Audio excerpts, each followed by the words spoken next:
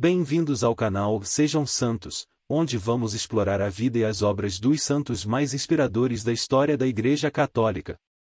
Nós vamos compartilhar suas histórias, seus ensinamentos e seus exemplos de virtudes, esperando que possam nos inspirar a viver de acordo com os ensinamentos de Cristo. Então, se você quer aprender mais sobre esses santos e descobrir como suas vidas podem ser caminhos que nos levam a Jesus Cristo para nós hoje, inscreva-se no nosso canal e deixe o seu like.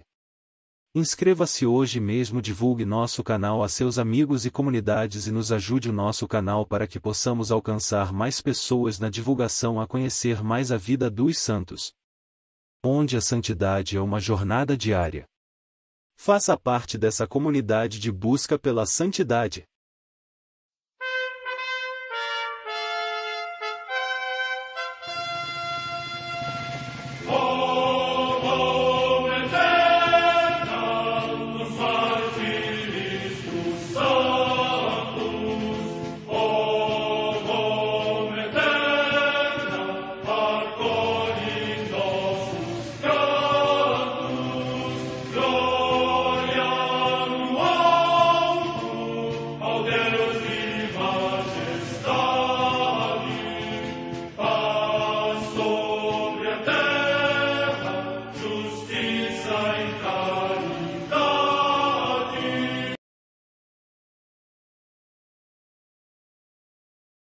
Ler a vida dos santos desperta em nós o desejo de seguir a Cristo.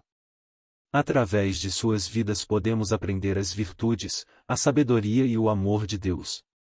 Cada santo nos oferece um modelo de vida a ser imitado, como diz São Paulo na carta aos Hebreus, capítulo 12, versículo 1. Estamos rodeados por uma nuvem de testemunhas. A Igreja foi fundada por nosso Senhor Jesus Cristo não apenas como uma instituição, mas uma autêntica família. Os santos mártires, confessores, doutores, as virgens, os santos pastores e todos os demais santos são realmente nossos irmãos que nos precederam no caminho da fé e já estão no céu, para onde também iremos nós, pela graça de Deus. Portanto, sede santos, assim como vosso Pai Celeste é santo. Mateus capítulo 5, versículo 48. Hoje, dia 9 de agosto, celebra a Igreja a vida dessa grande santa, Santa Teresa Benedita da Cruz. A Santa Madre Igreja celebra também nesse dia os santos. Em Roma, no cemitério de São Lourenço, junto à Via Tiburtina, São Romão, mártir. Morte no ano 258. No mosteiro de Achonry, na Irlanda, São Nateu, bispo e abade. Morte no século VI. Em Kilmore, também na Irlanda, São Fedlimino, bispo. Morte no século VI. Em Constantinopla, hoje Istambul, na Turquia, a comemoração dos santos mártires, que, segundo a tradição, foram mortos por ter defendido uma antiga imagem do Salvador colocada na porta de bronze, que o imperador Leão o Exáurico mandara destruir. Morte no ano 729. Em Palena, na Calábria, atualmente nos Abruzos, região das Itália, o Beato Falco, eremita. Morte entre os séculos XX. Em Florença, na Etrúria, atualmente na Toscana, também região da Itália, o beato João de Salerno, presbítero da Ordem dos Pregadores, que fundou o convento de Santa Maria Novella e lutou corajosamente contra os hereges patarinos. Morte no ano 1242.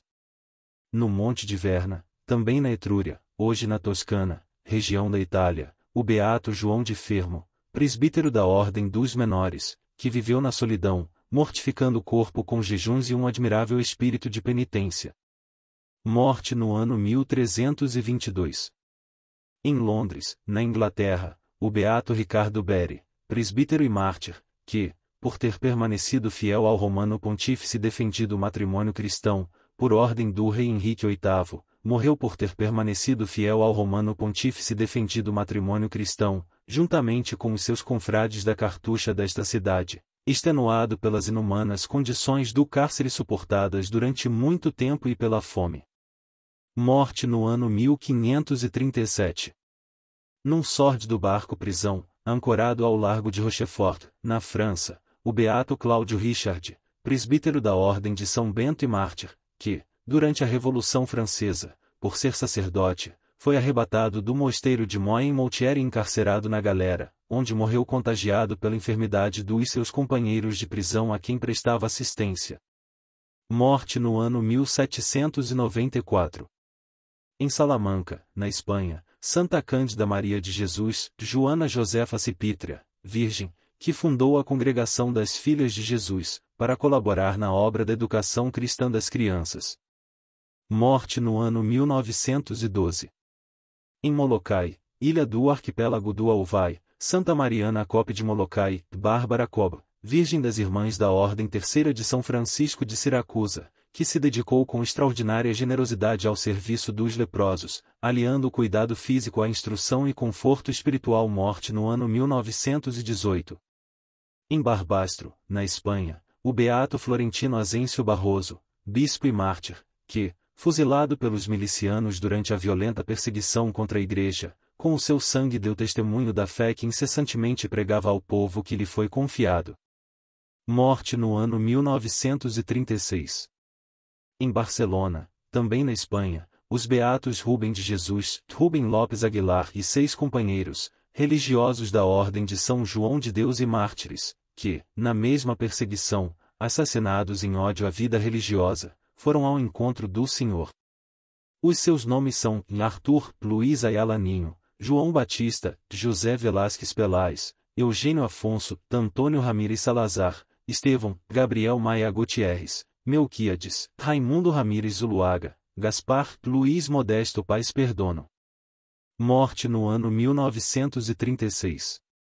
Em Azanui, localidade da província de Huesca, também na Espanha, os beatos Faustino Teiza Segura, presbítero, e Florentino Felipe Naia, religiosos da ordem dos clérigos regrantes das escolas pias e mártires, que, na mesma perseguição, morreram por Cristo. Morte no ano 1936. Em Argés, localidade próxima de Toledo, também na Espanha, o beato Guilherme Plaza Hernandes, presbítero da Irmandade dos Sacerdotes Operários e Mártir, que foi morto no mesmo dia e no mesmo combate.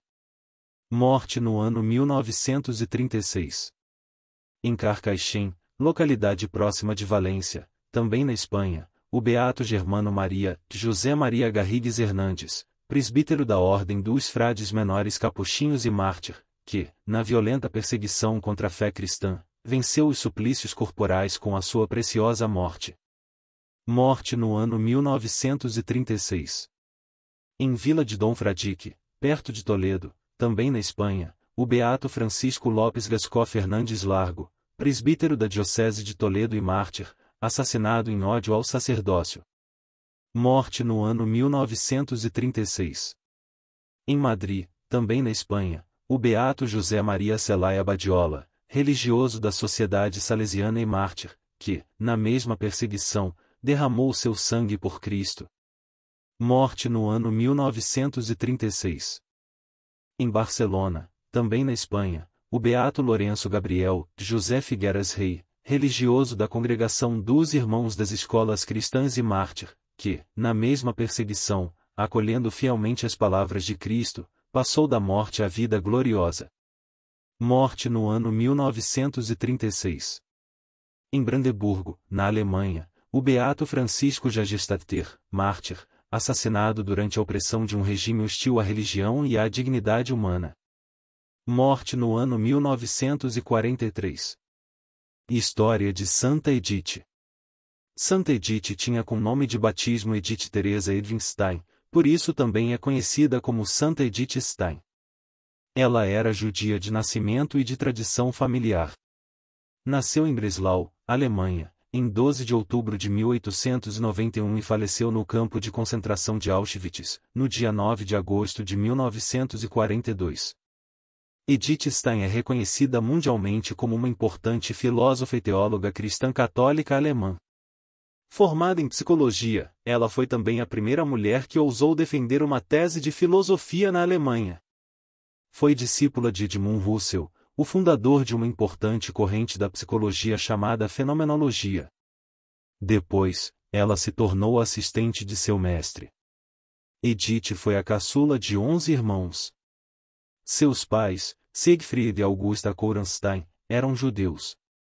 Estes insistiam com Edith para que ela assumisse a fé hebraica.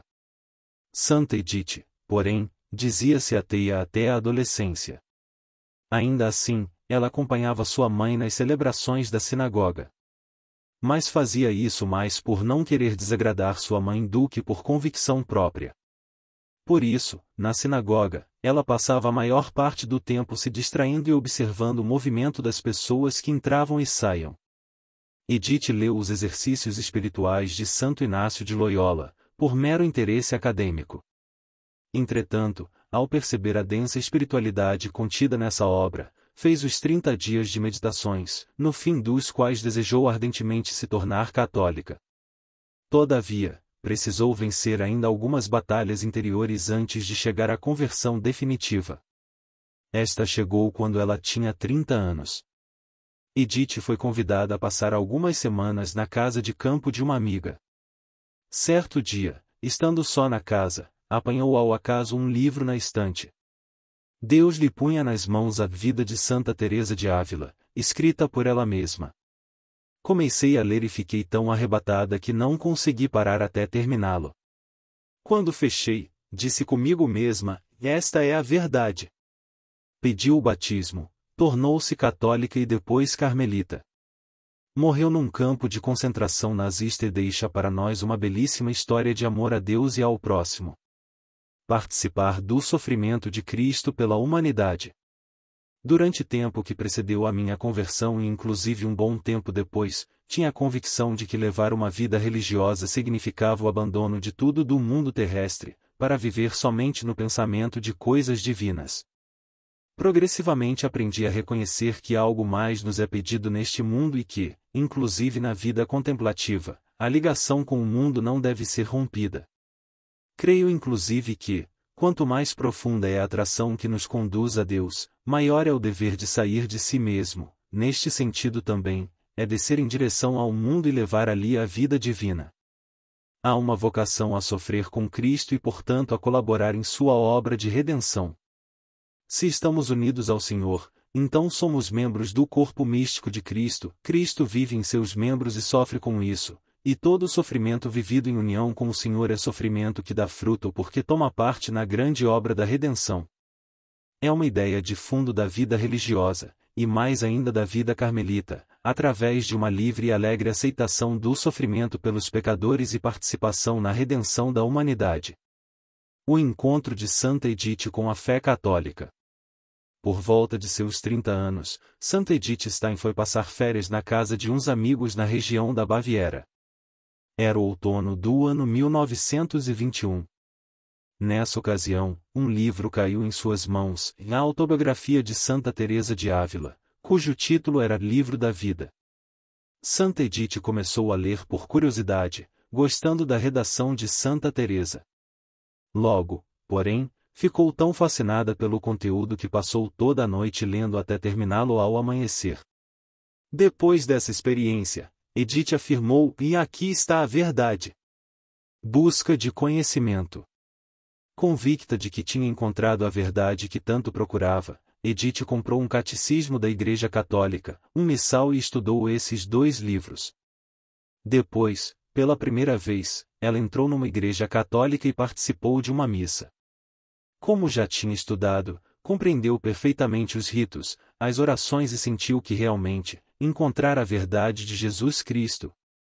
Batismo de Santa Edith. Então, resolveu se preparar para receber o batismo. Edith passou pela preparação para o batismo e depois foi batizada. Ela tinha, então, 31 anos e foi batizada no dia 1 de janeiro de 1922. Dificuldades com a família e descoberta da vocação. A família de Edith, como era natural, ficou profundamente desgostosa com a decisão da filha e cortou relações com ela durante um bom tempo.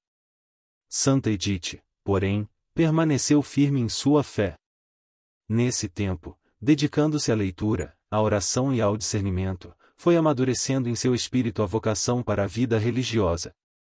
Assim, em setembro de 1933, quando tinha 42 anos, Edith comunicou à mãe sua decisão de entrar para a vida religiosa na Ordem das Carmelitas Descalças.